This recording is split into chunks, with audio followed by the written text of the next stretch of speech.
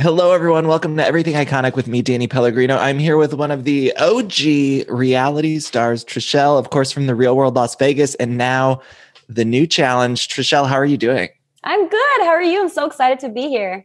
I'm so excited to talk to you because obviously you're one of like the at least specifically for my generation like i watched you on the real world las vegas and of course fell in love with you back then but you were sort of one of the first people I remember leaving the the real world and uh, doing other projects outside of MTV. I did, yeah. Um, after the show, all of us actually moved to Los Angeles, and we were kind of like, I mean, living in a city like Vegas, it's constant excitement. So we didn't really want to go to our like respective hometowns, and it was kind of boring after that. So we all decided to move to LA, and then everyone was kind of pursuing something in the entertainment industry, except for Frank. Right. Um, I remember you being on Punk'd um, with Ashton yeah. Kutcher. Was yeah. there like an opportunity around that time that you were maybe like close to, or that you, you know, maybe like an acting opportunity or another gig that you're like, oh man, I, you know, you were so close to. Does that there make sense? was. Okay. So I actually had signed with a, a really good agency in Los Angeles, like I would say top three agencies and I won't name it, but um, they represented some really good people. And so they were like, okay, like get out of reality. We're just going to do acting. So I was going to acting classes and things like that. So they had a role on it was like the second american pie it was like american wedding and um it was for me to be like stifler's girlfriend so it was like a healthy-ish role. And so the director like wanted to meet with me specifically. Well, the night before I went to like Saddle Ranch and like got wasted, blew up. Sure. I mean, I went to the audition, but I didn't even know my lines. I mean, my agent was livid with me. I could have had the part. It was mine. And I think I want to say it was January Jones. It was like somebody like in that genre that had that got the part and ended up doing well after that. Uh, I wish I could have seen you in the American Pie movies, Trishelle. I know. uh, so you guys went back to the real world. Uh, the Vegas cast, I think you, in 2007, you guys did a reunion season. Yeah, yeah. And, and now, of course, with Paramount Plus, they're doing the original real world uh, reunion season. Would you guys come back and do another one? Absolutely, I would. Um, I talked to a couple of the cast members just to see like what they would think about it, and you know, I, who I've talked to, they said they would do it. I think whenever we did the first reunion, it was just too soon. Like we were all still figuring out life. Like you know, the only person who really had changed a lot, I felt like, was Brynn, and you know, she had kids and she had gotten married. Everyone else was kind of still living in apartments with like barely any furniture. Right. Right. So now our lives are completely different. So it would be something to see. I want to see you guys. I want to see all the cast reunite. I love seeing all of the the people that I grew up with on screen and the uh, the original cast that's been rebooted. I think it's truly an amazing show. Like they're having these really interesting conversations and uh, I find it very fascinating. So I hope that you guys do. Has there been any talk like officially? Has anyone from MTV reached out and said like, we're going to do Vegas next? Because I feel like they're going to no. be doing some other ones. They have no, no one has reached out to us. Um, but I do think that there are some older seasons. I think that would that I think they should do before us. Um, I would love to see San Francisco. It's like one of my favorite seasons. Um, and uh, yeah, and Beth's season, the one in LA, like that was a good one. Uh, I saw online Amaya from Hawaii said they approached her about doing um, a reunion. I would love to. Hawaii was the first one for me that I really remember getting into. Yeah, um, I mean, Teck, Teck and Ruthie jumping naked in the pool is like forever just one of the most iconic moments in reality TV. Right. Right. You mentioned Beth. Now the this new season of Challenge All Stars, is like Trishelle, I'm not even bullshitting you. Like I felt like I had just taken like a long drag of a cigarette. Like I was so happy watching it. like, it just felt so satisfying to see yeah. all you guys. And I kind of thought that I thought it would be like a really easy challenge season, but it seems no. like they were hard. Was that a surprise to you guys?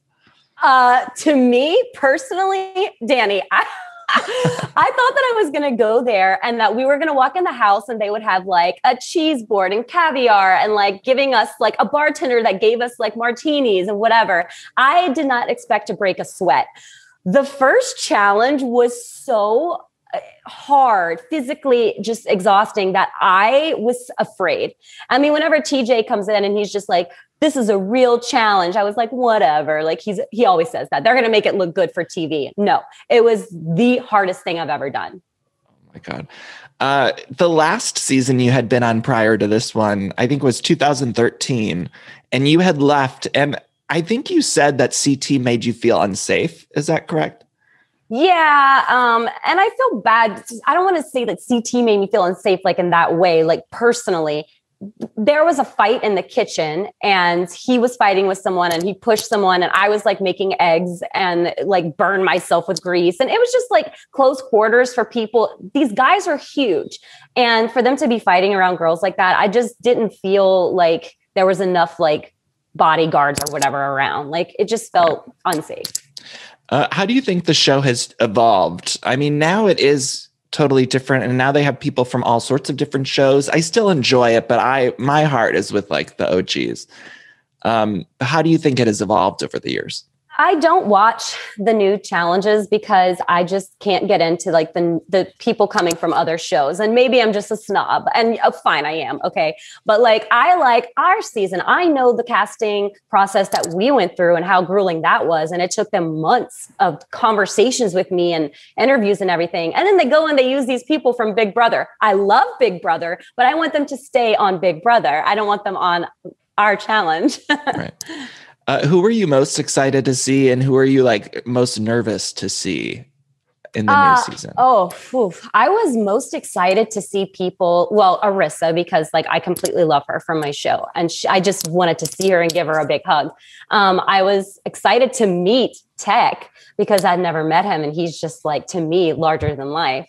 I was extremely nervous to see Aneesa, like so nervous, Danny, that I was spiraling during quarantine, like spiraling. I, I was so freaking out because whenever I did Rivals, Aneesa and I left on a very bad note. Um, I had said something that was racially insensitive, and you know, I had since apologized to her personally, but I wanted to like do it face to face. And she's like a big, she's a big personality. To me, she's very intimidating, and I was afraid that I wouldn't have the right words. And uh, you know, I don't know if they're going to show it, but I hope they do. Do you feel good about it though? Yeah. How you guys left it? Yeah. I do. I feel like I was able to like tell her, you know, apologize to her and I felt like she she accepted it and felt like it was genuine. So that that was good. But um I felt nasty about this the situation for the past 9 years. Yeah. Uh, I was so excited to see Alton and Arissa too. Alton was one of my first like sexual awakenings, I'd say. Like I always thought he was like one of the best looking real worlders. He's and so hot. He looks the same exactly. I know. I, yeah, he's he's gorgeous. Um, but do you still keep in touch with all of the Vegas people? I talked to Steven like a week and a half ago. Um, we I talked- took one of his workout classes too, by the way, before quarantine. Really? He yeah, he teaches like right down the street from where I live. But wow, um, yeah, it was wild. I just I, I just sort of like happened into a class with my friend, and it was Steven teaching. I'm like, what the what's going on? I would have died. Um, yeah, no, he, I still talk to him. Um, I text with like Brynn and Irulan, um, Arissa, I talk to him on the phone all the time. Uh, Frank, every once in a while, I talk to his wife more than him. Alton, he he's always been kind of a loner and hard to get in touch with off camera. But like you know, on the challenge that we just did, we were fine. Like it was good to see him. I felt you know nice to have him there. How are Arissa and Irulan? Like, are they still close? Because I worry about oh, that. Oh yeah, okay, no, good. they're still okay, close. Yes, we were supposed to have like a, a like a group Zoom call um, that we're hopefully going to do soon. Right. Uh, was there anyone that didn't come back that you would have really hoped to come back, or maybe some people that you can spoil? I, am sure they approach people that either couldn't do it for various reasons. Yeah. Um, so I think. Much, yeah, like who? Tell so many people. Okay, so Coral I love Coral. She is she has the best clapback. She has the best interviews. She has made fun of me so many times, and I always thought it was hilarious because like she's so good at it.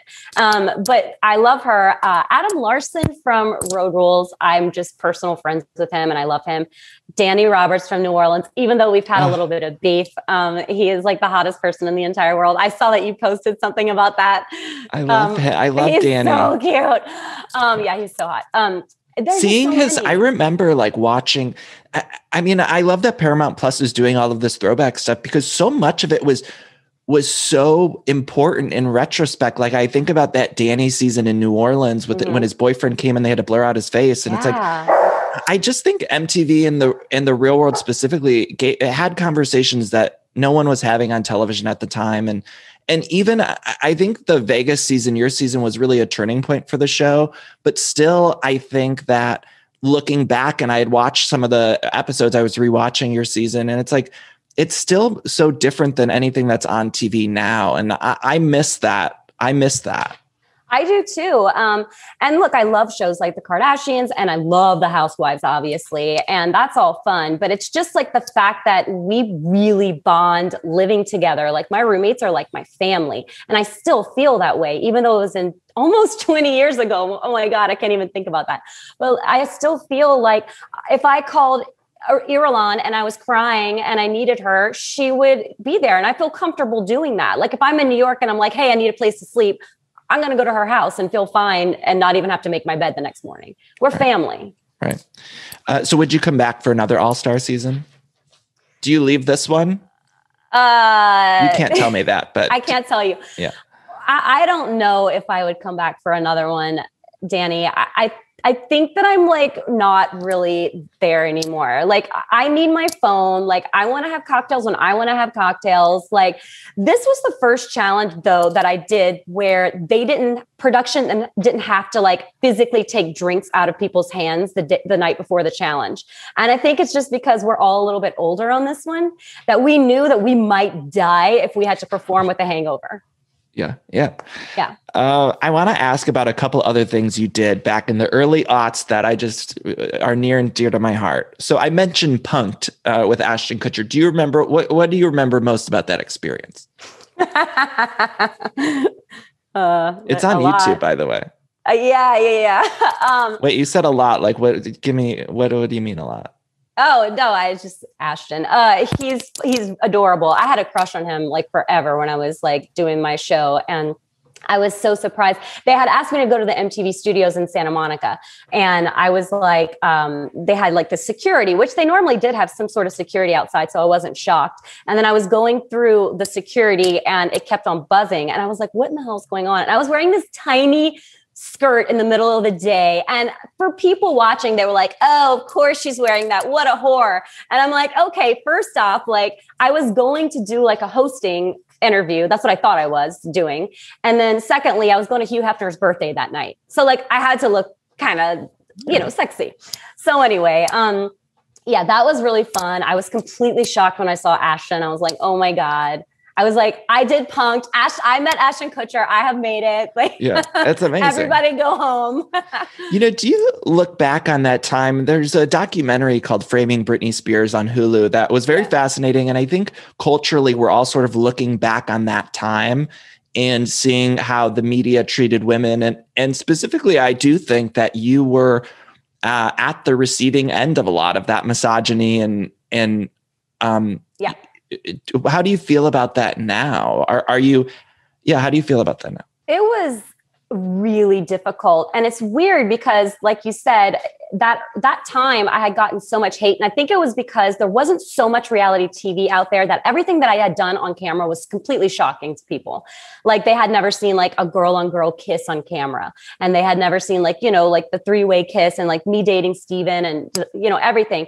But i'm so grateful that there was no twitter back then. There was no like little social media. However they had MTV message boards. People had found like my family's phone number. They were calling my grandmother and grandfather t- saying that I was a slut and a whore and all this other stuff, calling my dad's business line. Like it was just awful. So um, I think now it wouldn't have been as shocking.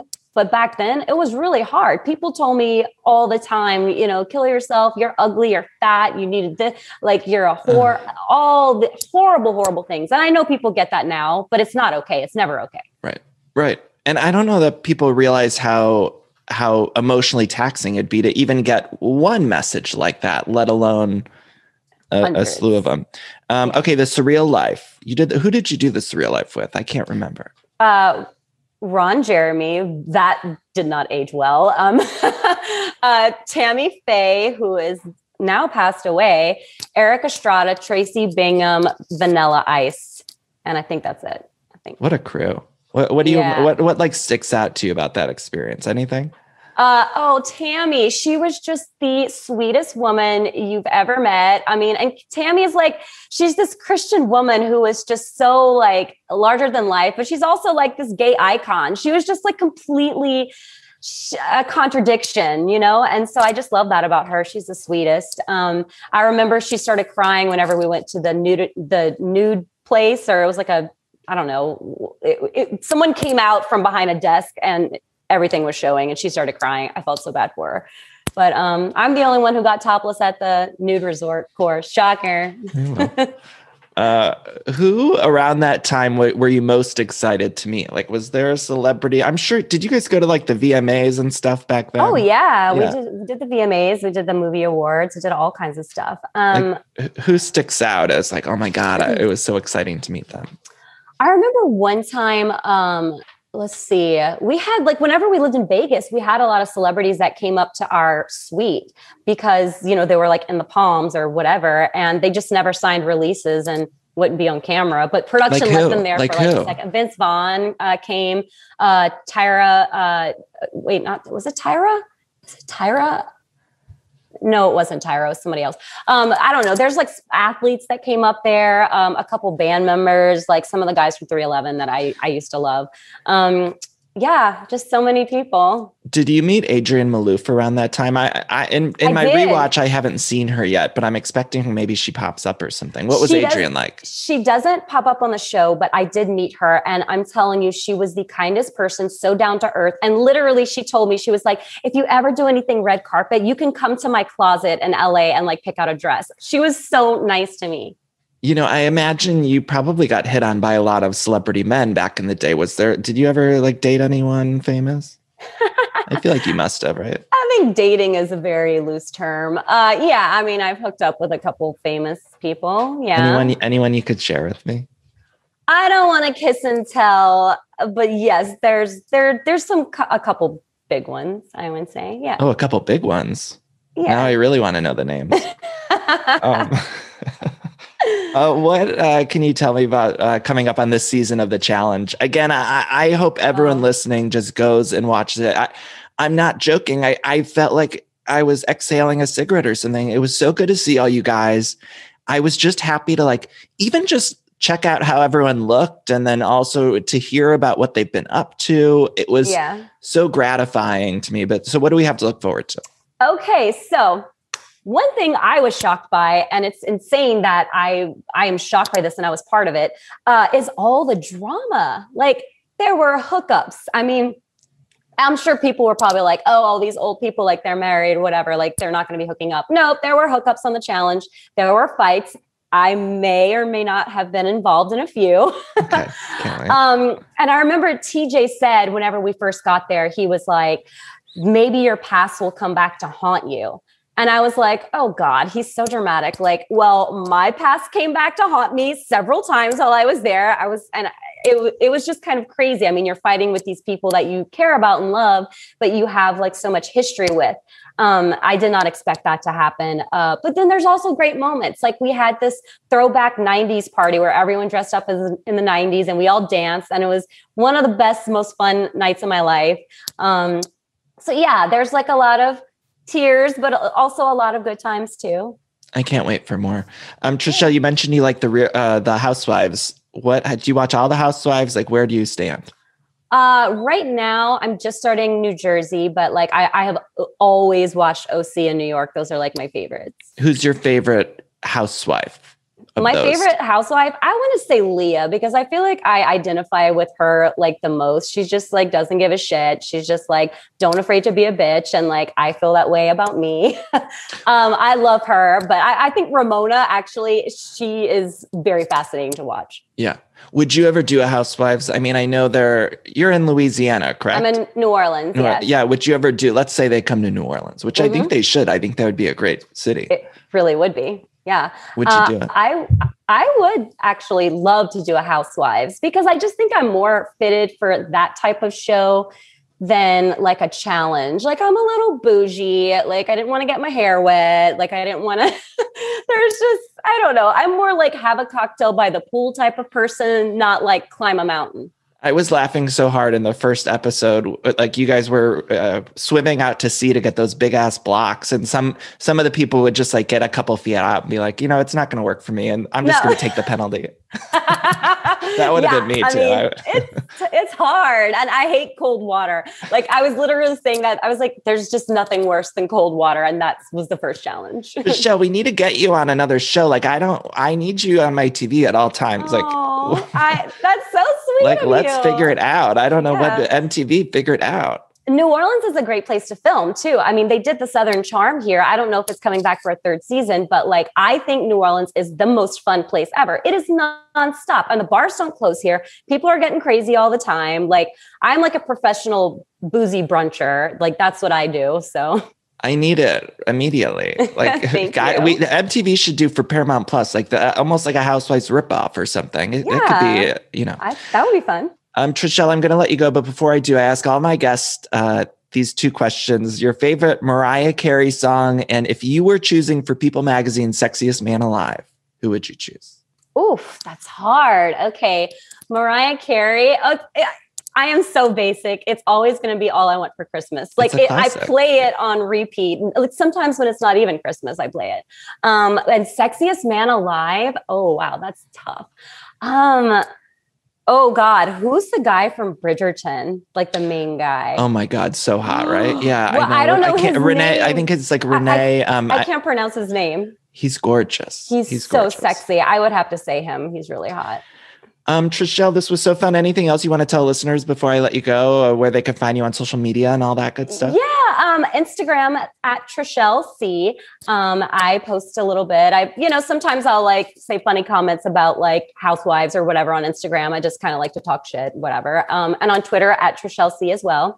And um, just everybody watch the challenge on April 1st on Paramount Plus. It's going to be so amazing. It's not going to be what you expect. It's actually more dramatic, what I've heard, than the newer challenge challenges. So, yeah. You know, the newer challenges are good, but th- they sort of lack, I think, the interpersonal dynamics of the show. Back in the day, it used to be a little bit more focused on the the relationships. And so I'm looking I'm looking forward to it. Also on Twitter, I have to say I love when you and Chrishell were going back and forth. I need oh. I think oh. I said on Twitter I need like a show Chrishell and Trishelle, you know. do something. She's wonderful. I love her. I think she's so beautiful and she's like just spot on with like what she tweets and what she believes in and I really like that about her. I think she's wonderful. But I wanted to tell you one comment what yeah. you were just talking about. I think that with the newer show, with the newer challenge cast members, a lot of them are cast just because of like kind of athleticism and like how they're going to do like with a challenge.